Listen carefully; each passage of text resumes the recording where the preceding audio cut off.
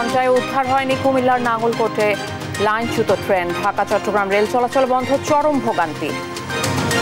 এই থেকে এই যে ভোগান্তি এখন পর্যন্ত ট্রেনে কোনো শিডিউলও পাচ্ছি না কোনো কিছু কোনো অ্যানাউন্সও করে নাই। মানে খুব ফেরার মধ্যে আছে এই অবস্থা কি।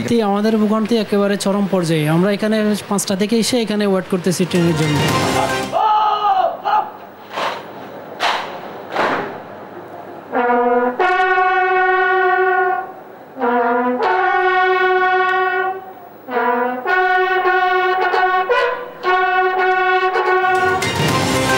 জাতির পিতার জন্মদিনে বিনম্র শ্রদ্ধা। সন্ত্রাস ও মাদক থেকে শিশুদের দূরে রাখতে হবে টুঙ্গিপাড়ায় প্রধানমন্ত্রী। দ্বাদশ নির্বাচনের গুণগত মান ক্ষুণ্ণ হয়েছে, বলছে এনডিআই ও আর আই আইআরআই জোর আন্দোলনের প্রস্তুতি নিচ্ছে বিএনপি। অবন্তিকার আত্মহত্যায় শিক্ষক ও সহপাঠীর প্ররোচনার প্রমাণ, পুলিশে মিমের নিপীড়নের ঘটনা তদন্তের আশ্বাস বিসির। বেতন বাড়ান যারা দিন মজুর কাজ করে তাগর বেতন বাড়ান ওরা যদি এত দাম দিয়ে শশা কিনে খাইতে পারে আমরা কেন পাই না? এমন কোনো জিনিসই নাই যে দাম বাড়তি। এই মাছ কিনেছি আমি এক সময় একশো আশি টাকা করে। আজকে এই মাছ কিনলাম আমি দুশো আশি টাকা করি। লাগামহীন নিত্য পণ্যের বাজার সমঝোতায় সমাধান দেখছেন প্রতিমন্ত্রী। মাপে কম দেয়া প্রতারক চক্র গ্রেপ্তার।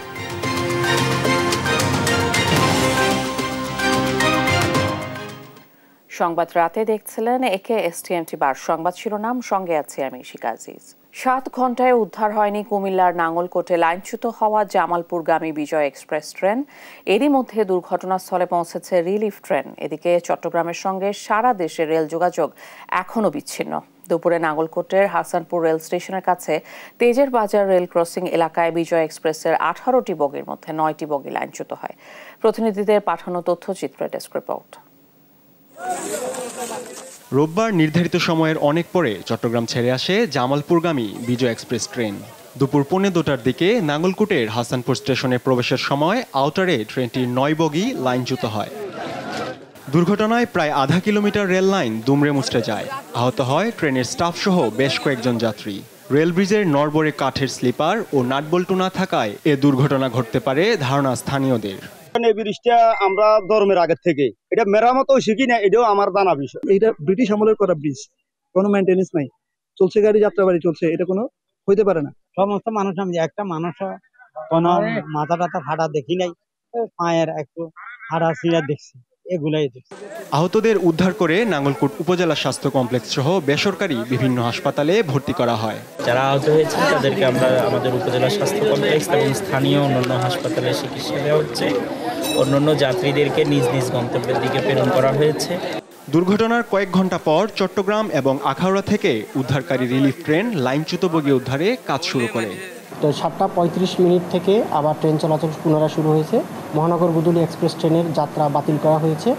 সাতটা পঁয়ত্রিশে কক্সবাজার এক্সপ্রেস সাতটা পঁয়তাল্লিশে সোনার বাংলা এক্সপ্রেস এবং আটটা দশ মিনিটে আপনার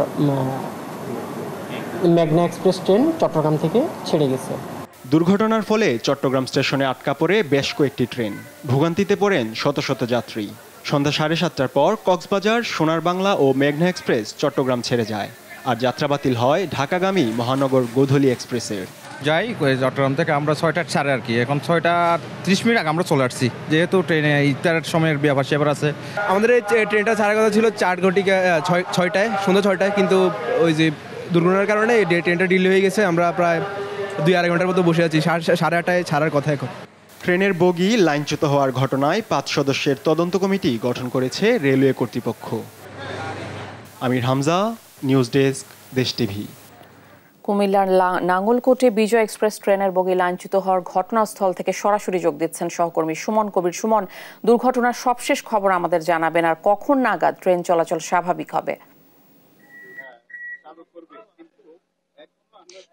যে শিকা আপনি যেটা বলছিলেন আমরা নাঙ্গল করে যে হাসানপুর রেল স্টেশনের সাথে তাদের বাজার যে ঘটনা আছে, ঘটেছে, আপনারা জানেন, সকাল সারাদিন ব্যাপী আসলে চলছে সকাল দুপুর একটা আটত্রিশ মিনিট থেকে আসলে যে ঘটনা ঘটছে, বিজিপুর এক্সপ্রেস। এখন যে উদ্ধার কাজ চলছে, রেল রেলের, আপনার জানিয়ে রাখি, এখন তো একটা বগি কিন্তু উদ্ধার করা করতে পারে না। যদিও দুইটা ক্রেন এসেছে, রিলিফ ক্রেন, আপনাকে জানিয়ে রাখি, কুমিল্লার এই যে অবস্থা এখন, সেই অবস্থা দেখতে পাচ্ছেন যে এক, দুই, একটা ভয়াবহ দুর্ঘটনা আসলে ঘটতেছিল যদিও কোনো হতাহত ঘটে ঘটেনি এখানে বাড়ি, সে বাড়ির কাছে, সে বাড়িতে দুটা ক্রেন, একসাথে দুটা বগি, বাড়িটার উপরে পড়েছে বাড়িটা কেউ মারা যায়নি। তার, এটা সবচেয়ে বড় বিষয়। তবে একটা জানিয়ে রাখি, আমি যেটা জানি, ঢাকা থেকে চট্টগ্রাম মুখী, চট্টগ্রাম থেকে এখন মধ্যে কোনো ট্রেন আসলে যেতে, ছেড়ে যেতে পারেনি। তেরোটা ট্রেন আটকা পড়া হচ্ছে ঢাকা থেকে চট্টগ্রাম এবং সারাদের সাথে যোগাযোগ বিচ্ছিন্ন হয়ে রয়েছে। তবে আমি একটু জানিয়ে রাখি, এখানে যে রেলওয়ে যে ডিআরএম ছিল, উনি জানিয়েছেন যে সাইফুল ইসলাম, উনি বলেছেন যে কুমিল্লা থেকে চট্টগ্রামমুখী যে এই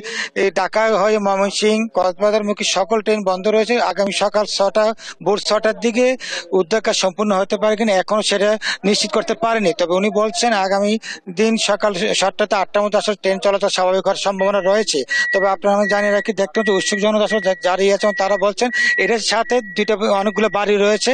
আসলে দুইটা বাড়ির, একটা বাড়ির মধ্যে দুইটা বগি পড়েছে এবং সেই বাড়ির যে লোকটা ভিতরে ছিল, আল্লাহ ওনাকে রহমত করেছে উনি এখান থেকে উনি মারা যায়নি এবং ওনাকে হসপিটাল নিয়ে আসলে প্রাথমিকভাবে ট্রিটমেন্ট করে নিয়ে আসছে। তবে সবচেয়ে বড় বিষয়টা ইসিকে আপনার মতন জানিয়ে রাখি যে ভয়াবহ একটা দুর্ঘটনা এখানে দেখতে পেয়েছি। আসলে কোনো হতাহত ঘটেনি। তবে ট্রেনের যে পাঁচ সদস্য তদন্ত কমিটি গঠন করা হয়েছে, তারা বলছেন এটা কি কারণে হয়েছে, আসলে এখন তো আমাদেরকে ব্যাখ্যা দিতে পারেনি। তবে একটা জিনিস বলেছেন যে তাপের কারণে রেল ব্যাকে এই ঘটনা ঘটে থাকতে পারে, এটা প্রাথমিকভাবে ধারণা করা হচ্ছে। তবে আরেকটা বিষয় জানিয়ে রাখি যে রেলওয়ের আমরা দেখছি যে যে অ্যাক্সিডেন্ট যেভাবে আমরা দেখছি তাহলে এই হিসেবে আসলে অনেক মানুষের হতাহত ঘটনা হওয়ার কথা ছিল। আল্লাহর অশেষ রহমান মেহরবানিতে আসলে হয়নি তেমন ঘটনা ঘটেনি। তবে আমি একটু জানা রাখি উদ্ধার কাজ অব্যাহত রয়েছে এবং তারা বলছেন সকাল ছটার মধ্যে আসলে উদ্ধার কাজ শেষ হওয়ার সম্ভাবনা রয়েছে। আসলে ঢাকা থে- চট্টগ্রাম থেকে কক্সবাজার পর্যন্ত চট্টগ্রাম সারা দেশের সাথে রেল যোগাযোগ বিচ্ছিন্ন হয়ে রয়েছে চট্টগ্রাম থেকে। এ ছিল কুমিল্লা থেকে সর্বশেষ। সুমন, অনেক ধন্যবাদ আপনাকে। কুমিল্লার নাঙ্গলকোটে বিজয় এক্সপ্রেস ট্রেনের বগি লাঞ্ছিত হওয়ার সবশেষ তথ্য জানছিলাম সহকর্মীর কাছে। বঙ্গবন্ধুর জন্মবার্ষিকীতে টুঙ্গিপাড়ায় বঙ্গবন্ধুর সমাধিতে শ্রদ্ধা জানিয়েছেন রাষ্ট্রপতি মোহাম্মদ শাহাবুদ্দিন ও প্রধানমন্ত্রী শেখ হাসিনা। এরপর সমাধিসৌধ কমপ্লেক্সে আয়োজিত শিশু দিবসের আলোচনায় যোগ দেন প্রধানমন্ত্রী। সন্ত্রাস, মাদক ও জঙ্গিবাদ থেকে শিশুদের দূরে রাখতে সাংস্কৃতিক কর্মকাণ্ডে যুক্ত রাখার পরামর্শ দেন সরকার প্রধান। বলেন, আজকের শিশুরাই আগামী দিনে গড়বে স্মার্ট বাংলাদেশ। গোপালগঞ্জে টুঙ্গিপাড়া থেকে ফিরে বিস্তারিত জানাচ্ছেন শামীমা আক্তার। জাতির পিতা বঙ্গবন্ধু শেখ মুজিবুর রহমানের একশো চারতম জন্মবার্ষিকীতে তার সমাধিতে শ্রদ্ধা জানাতে রোববার সকালে হেলিকপ্টার যোগে টুঙ্গিপাড়ায় পৌঁছান প্রধানমন্ত্রী শেখ হাসিনা। এর কিছু পরে পৌঁছান রাষ্ট্রপতি মোহাম্মদ শাহাবুদ্দিন। পরে রাষ্ট্রপতি ও প্রধানমন্ত্রী একসাথে প্রবেশ করেন সমাধিসৌধের কমপ্লেক্সে। বঙ্গবন্ধুর সমাধিতে প্রথমে পুষ্পস্তবক অর্পণ করেন রাষ্ট্রপতি। এর পরপর পুষ্পস্তবক অর্পণ করেন প্রধানমন্ত্রী। এ সময় বিহগলে বেজে ওঠে করুণ সুর। কিছুক্ষণ নীরবে দাঁড়িয়ে থাকেন তারা। এ সময় সশস্ত্র বাহিনীর চৌকস দল সশস্ত্র সালাম জানান। দোয়া মোনাজাতে অংশ নেন রাষ্ট্রপতি, প্রধানমন্ত্রী এবং বঙ্গবন্ধুর ছোট কন্যা শেখ রেহানা। বঙ্গবন্ধুর সমাধিতে শ্রদ্ধা নিবেদন করেন কেন্দ্রীয় নেতাদের নিয়ে আওয়ামী লীগ সভাপতি। সবশেষে টুঙ্গিপাড়া আওয়ামী লীগের নেতাদের নিয়ে বঙ্গবন্ধুর সমাধিতে শ্রদ্ধা নিবেদন করেন শেখ হাসিনা। এরপর প্রধানমন্ত্রী যোগ দেন মহিলা ও শিশু বিষয়ক মন্ত্রণালয় আয়োজিত শিশু দিবসের আলোচনায়। বঙ্গবন্ধুর স্বপ্ন ধরে আনব হাসি সবার ঘরে। এ প্রতিপাদ্য নিয়ে পালিত হচ্ছে এ বছরের জন্মবার্ষিকী। বক্তব্যে প্রধানমন্ত্রী বলেন, আজকের শিশুরাই স্মার্ট, উন্নত, সমৃদ্ধ বাংলাদেশ গড়ে তোলার নেতৃত্ব দেবে একদিন। এখন আমাদেরকে ভবিষ্যৎ দেখতে হবে স্মার্ট বাংলাদেশ গড়ার। এই শিশুরাই তো একদিন এই প্রযুক্তি ব্যবহার শিখবে বাংলাদেশের যে স্মার্ট বাংলাদেশ সে স্মার্ট বাংলাদেশ গড়ে তোলা অর্থাৎ উন্নত সমৃদ্ধ দেশ গড়ে তোলা এই গড়ে তোলার মূল নেতৃত্ব আজকে শিশুরাই দেবে। এজন্য সন্ত্রাস জঙ্গিবাদ মাদক ও দুর্নীতি থেকে শিশুদেরকে দূরে রাখতে সাংস্কৃতিক নানা কর্মকাণ্ডে যুক্ত রাখার পরামর্শ দেন বঙ্গবন্ধু কন্যা। বাবা মার সাথে বন্ধুত্বপূর্ণ সম্পর্ক থাকতে হবে তাহলে কেউ বিপথে যেতে পারবে না। সন্ত্রাস জঙ্গিবাদ মাদক দুর্নীতি এর থেকে দূরে রাখার জন্য ছোটবেলা থেকেই সততা শিক্ষা দিতে হবে। সেই সাথে সাথে গান বাজাজ লেখাপড়া ধর্মীয় শিক্ষা ছবি আঁকা থেকে শুরু করে সব ধরনের কারিকুলামের সাথে তাদের সম্পৃক্ত থাকতে হবে। গাজায় শিশুদের অবর্ণনীয় দুর্ভোগের কথা তুলে ধরে প্রধানমন্ত্রী বলেন মানবতা নিয়ে বেশি কথা বলা উন্নত বিশ্ব দ্বিমুখী আচরণ করছে। আজকে বিশ্বব্যাপী আমরা দেখি অনেকে শিশু অধিকারের কথা বলে, শিশু শিক্ষার কথা বলে মানবাধিকার কথা বলে সোচ্চার। আর পাশাপাশি আমরা দেখি একটা দ্বিমুখী কার্যক্রম। সেই গাজায় শিশুদের উপর যখন বোমা ফেলা হয়, হত্যা করা হয়, হাসপাতালে বোমা ফেলা হয়, ফিলিস্তিনদের উপর যখন আক্রমণ করা হয়, তখন আমি জানি না এই মানবাধিকার সংস্থাগুলো কোথায় থাকে তাদের সেই মানবিক মানবিকতা বোধটা কোথায় থাকে সেটাই আমার প্রশ্ন। পরে অসচ্ছল মেধাবী শিশু শিক্ষার্থীদের মধ্যে আর্থিক অনুদান বিতরণ করেন প্রধানমন্ত্রী। এরপর সাংস্কৃতিক অনুষ্ঠান ও ফটো সেশনে অংশ নেন তিনি।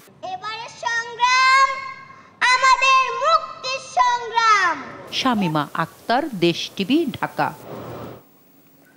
দ্বাদশ সংসদ নির্বাচনের গুণগত মান ক্ষুণ্ণ হয়েছে বলে মনে করছেন যুক্তরাষ্ট্রভিত্তিক নির্বাচনী পর্যবেক্ষণ সংস্থা এনডিআই এবং আইআরআই। আইআরআই যুক্তরাষ্ট্রের ওয়াশিংটন ডিসি থেকে তাদের ওয়েবসাইটে এই প্রতিবেদন প্রকাশ করে। তবে এ প্রতিবেদনকে আংশিক মনে করছেন সুজন সম্পাদক বদিউল আলম মজুমদার। আজিজুর রহমান কিরণের রিপোর্ট। দ্বাদশ জাতীয় সংসদ নির্বাচনের আগে নির্বাচন চলাকালীন ও পরে সম্ভাব্য নির্বাচনী সহিংসতা পরিস্থিতি পর্যবেক্ষণের জন্য বাংলাদেশে আসা ন্যাশনাল ডেমোক্রেটিক ইনস্টিটিউট, এনডিআই এবং ইন্টারন্যাশনাল রিপাবলিকান ইনস্টিটিউট, আইআরআই তাদের টেকনিক্যাল অ্যাসেসমেন্ট মিশন টিএম এর চূড়ান্ত প্রতিবেদন প্রকাশ করেছে। শনিবার আইআরআই তাদের ওয়েবসাইটে এই প্রতিবেদন প্রকাশ করে।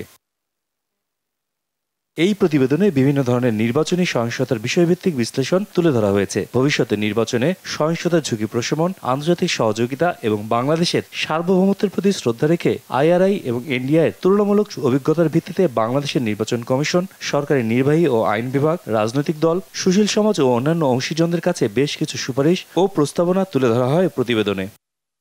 প্রতিবেদনটি বাংলাদেশের ভবিষ্যতে আরও শান্তিপূর্ণ নির্বাচনের জন্য একটি মূল্যবান রোডম্যাপ হিসেবে অবদান রাখবে বলে মত দিয়েছেন ইন্ডিয়ার এশিয়া প্যাসিফিক অঞ্চলের আঞ্চলিক পরিচালক মনপ্রীত সিং আন্ত নির্বাচনে সহিংসতা নাগরিকদের অংশগ্রহণের ক্ষেত্রে একটি বড় বাধা বলে উল্লেখ করেন আরআইয়ের এশিয়া প্রশান্ত মহাসাগরীয় জ্যেষ্ঠ পরিচালক জোহানা কাউ। বাংলাদেশের নির্বাচনকে পুরোপুরি অংশগ্রহণমূলক করতে হলে সব পক্ষকে অহিংস রাজনৈতিক প্রাধান্য দিতে হবে বলেও পরামর্শ দেওয়া হয়। প্রতিবেদন প্রসঙ্গে সুজন সম্পাদক বদির আলম মজুমদার বলেন, নির্বাচন নিয়ে এই প্রতিবেদনটি আংশিক। আমি মনে করি না, এটা একটা খুব একটা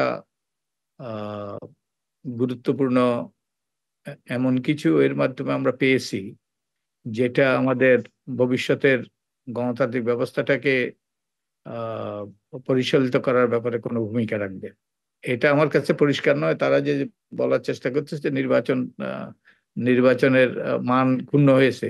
তো এখন এই যে এক দলের মধ্যে নির্বাচন কিটা, এটা নির্বাচন কিনা, সেই জিনিসটাই তো তারা সুস্পষ্ট হবে গণতান্ত্রিক নির্বাচন কিনা, এটাই তো তারা সুস্পষ্ট করে নাই।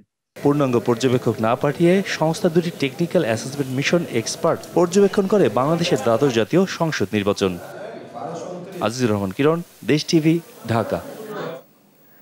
এনডিআই ও আইআরআই এর প্রতিবেদনের বিষয়ে পররাষ্ট্রমন্ত্রী ডক্টর হাসান মাহমুদ বলেছেন, এতে বিএনপির সহিংসতার বিষয়ে তুলে ধরা উচিত ছিল। রোববার বিকেলে জাতির পিতা বঙ্গবন্ধু শেখ মুজিবুর রহমানের জন্মদিন ও জাতীয় শিশু দিবস উপলক্ষে পররাষ্ট্র মন্ত্রণালয়ের আয়োজনে এক অনুষ্ঠানে পররাষ্ট্রমন্ত্রী এ কথা বলেন।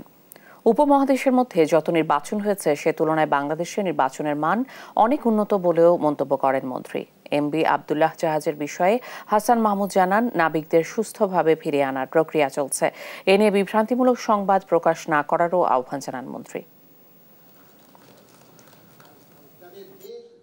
তারা প্রতিবেদন দিয়েছে, আমরা প্রতিবেদনটা দেখছি এবং আমরা আমাদের বন্ধু রাষ্ট্র বা অন্য কেউ যে সমস্ত পর্যবেক্ষণ দিচ্ছে, সেগুলো আমরা পরীক্ষা নিরীক্ষা করছি, আমরা দেখছি। এগুলো প্রত্যাখ্যান করা বা গ্রহণ করার বিষয় তাদেরকে এই বিষয়টাও অ্যাড্রেস করতে হবে যে বিএনপি যে নির্বাচন প্রতিহত করার ডাক দিয়েছিল এবং শুধু প্রতিহত নয়, নির্বাচন প্রতিহত করার লক্ষ্যে যে সহিংসতা করেছে, মানুষ পুড়িয়ে হত্যা করেছে সেই বিষয়গুলো তো আসতে হবে। তো যেই দেশে একটি নির্বাচন প্রতিহত করার জন্য ট্রেনে আগুন দেওয়া হয়, জীবন্ত মানুষকে পুড়িয়ে হত্যা করা হয়, সেই প্রেক্ষাপটে যে নির্বাচন অনুষ্ঠিত হয়েছে, এর একটি চমৎকার নির্বাচন। সংবাদ রাতে আরও থাকছে। বাংলাদেশ বিমানে চরম অব্যবস্থাপনা, নির্ধারিত সময়ের ছয় ঘণ্টা পরও ছাড়ে ফ্লাইট, আন্তর্জাতিক বিশ্বে ক্ষুণ্ণ হচ্ছে মান। আন্দোলন লক্ষ্য রেখে সাংগঠনিক শক্তি বৃদ্ধিকে প্রাধান্য দিয়ে এবার এগুতে চায় বিএনপি।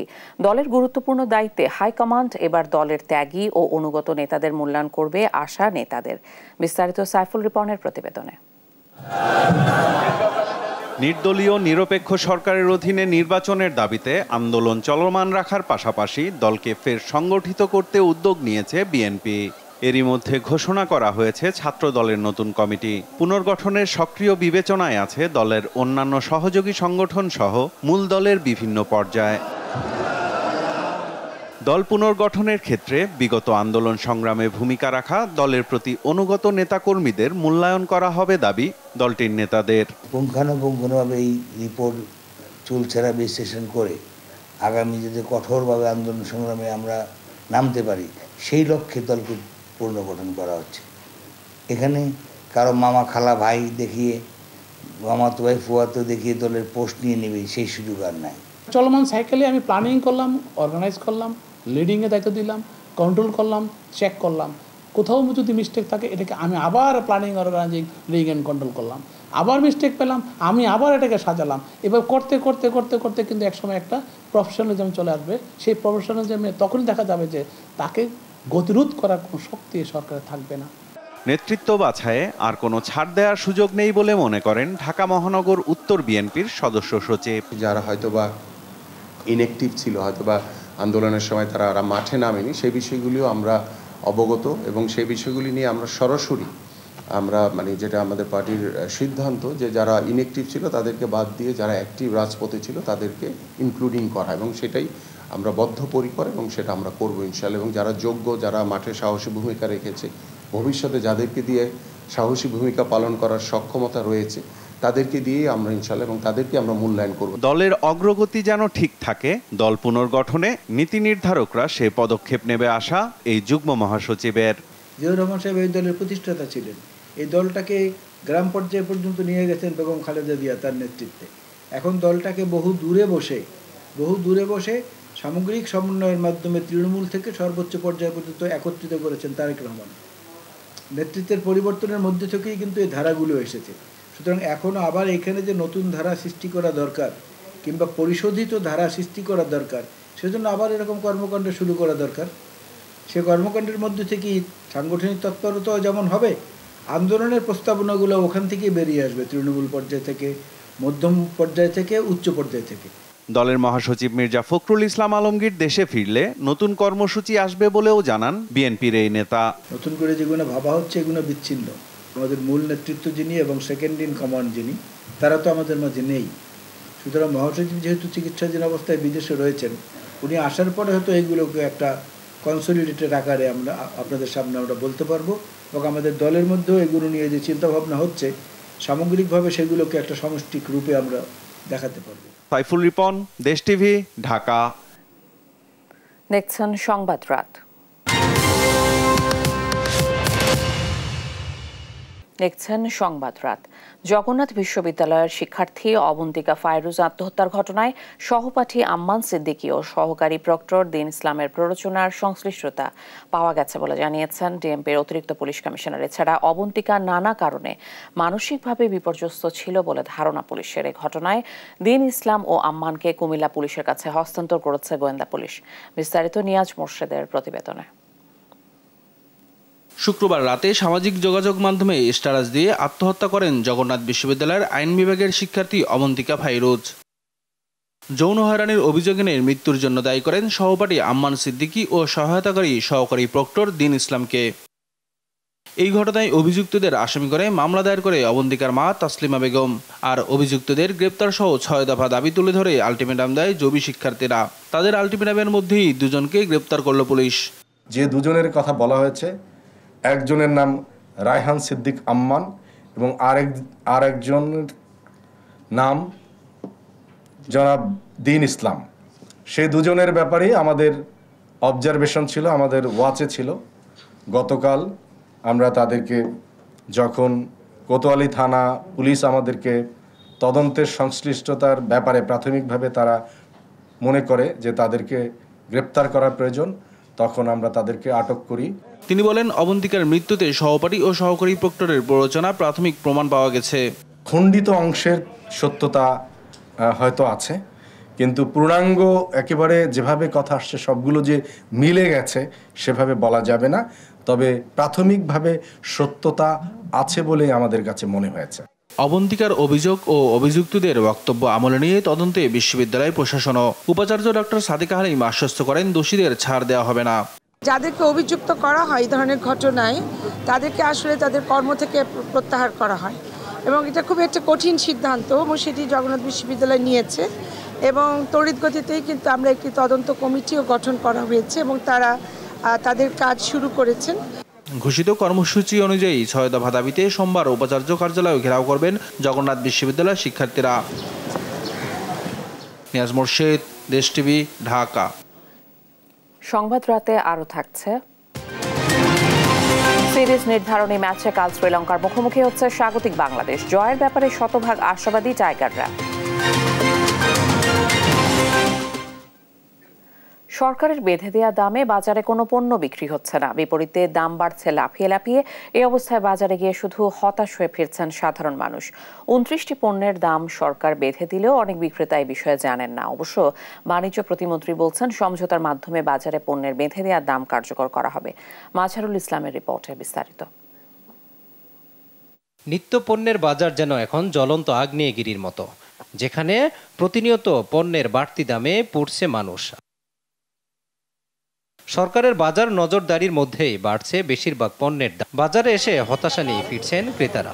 রোজা আসলেই তো দাম বাড়ায় দেয় এটা অটো বেড়ে যায় আর কি। এখন বাজার তদারকি না বাড়াইলে কোনোদিন এটা ঠিক হবে না। আমগর বেতন বাড়ান যারা দিন মজুর কাজ করে তাগর বেতন বাড়ান।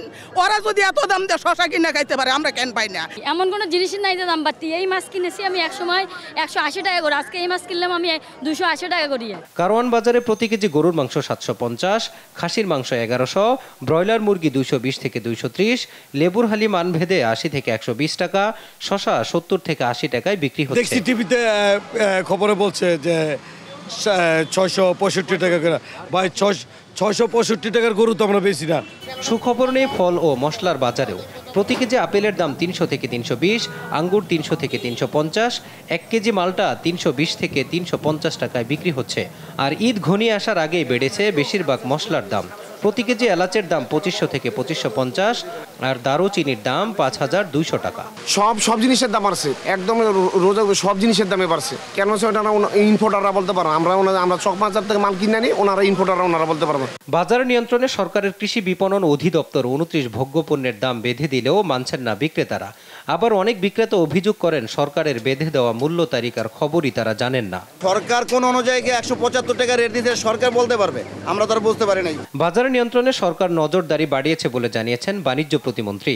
জানান সমঝোতার মাধ্যমে উনত্রিশ পণ্যের দাম বাজারে কার্যকর করা হবে। উপজেলা জেলা এবং কেন্দ্রীয় পর্যায়ে কমিটি আছে এবং সেই সাথে যেহেতু আমরা বাজার মনিটরিংয়ের কাজও করি আমার ভোক্তা অধিদপ্তরের ডিজি মহোদয় এখানে আছে আমরা সমন্বয় করে এটা মনিটরিং শুরু করব।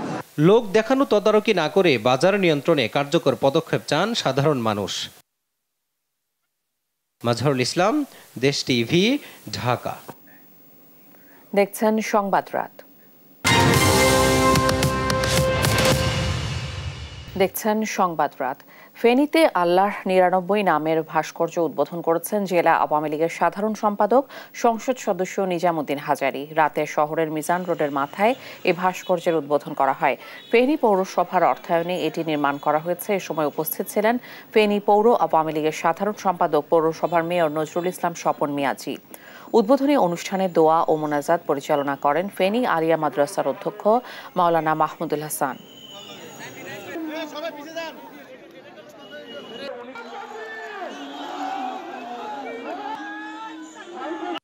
পবিত্র মাহের রমজানে আজকে এই শান্তি চত্বরটি আমি শুভ উদ্বোধন করতে পেরে আমি নিজকে ধন্য মনে করছি।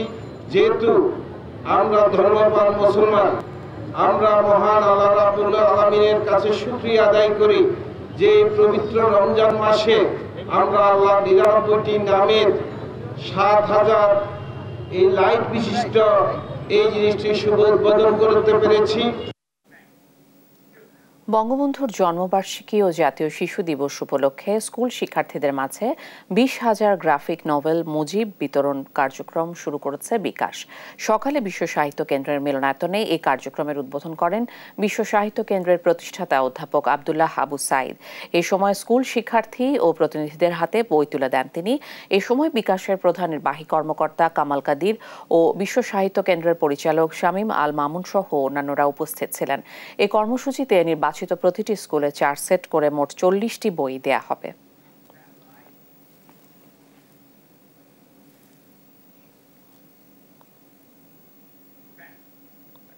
জাতির পিতা বঙ্গবন্ধু শেখ মুজিবুর রহমানের শুভ জন্মদিন ও জাতীয় শিশু দিবস দু হাজার চব্বিশ উদযাপন করেছে রাষ্ট্রায়ত্ত রূপালী ব্যাংক পিএলসি রোববার ধানমন্ডির বত্রিশ নম্বরে জাতির পিতার প্রতিকৃতিতে ফুল দিয়ে শ্রদ্ধা জানান ব্যাংকটি chairman Kazi Sanaul Haque O managing director and CEO Mohammad Jahangir.